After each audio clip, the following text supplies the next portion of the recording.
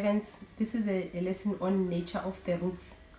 When we talk about nature of the roots we're talking about a quadratic equation and we are actually talking about the x values of the quadratic equation. If we draw it we're talking where it cuts the x-axis there and there. We're talking about the x values of the quadratic equation. So we're gonna you can determine the nature of the roots how the roots are without calculating them.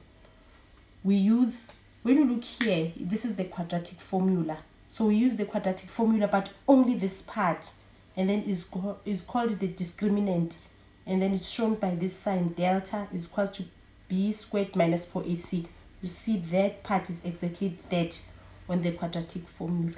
Okay so when you see from the quadratic formula this part b squared minus 4ac is under a square root so it, it can help us to tell us how are the x values how are the roots of the that particular equation. So when this sign delta you see I've used delta. When I use that it's b squared minus 4ac is that b squared minus 4ac so when b squared minus 4ac delta is greater than 0 greater than 0 means positive. If you get a positive number and the number is a perfect square for example you get a 4 or you get a 16 a positive and it's a perfect square you you'll have two real roots meaning that you'll have two values of x and they will be unequal, they will not be equal, and they will be rational. You remember from grade 9, rational numbers are the ones that if they have a comma, they don't recur. Uh, if they have a comma or they recur, they will recur or they will have a comma and stop, then they are rational. Irrational are the ones that they change all the time.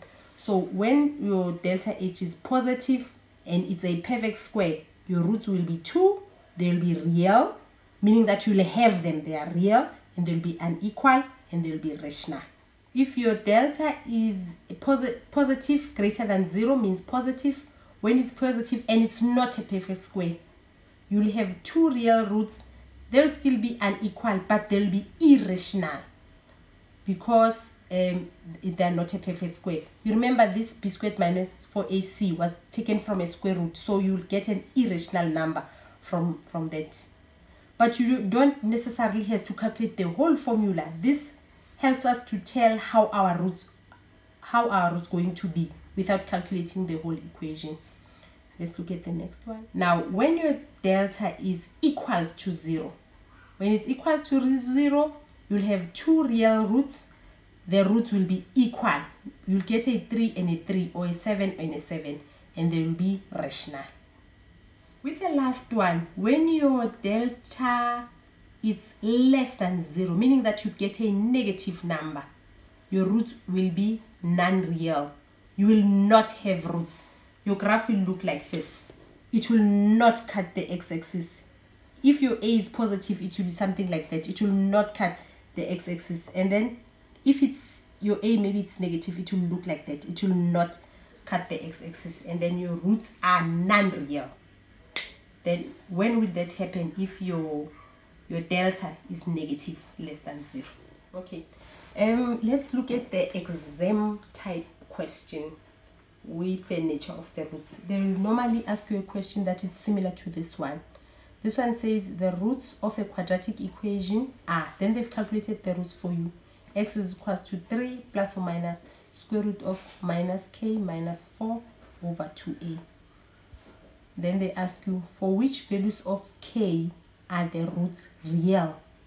So when the roots are real, the b squared minus 4ac delta is greater than 0. You see in these two instances it's greater than 0.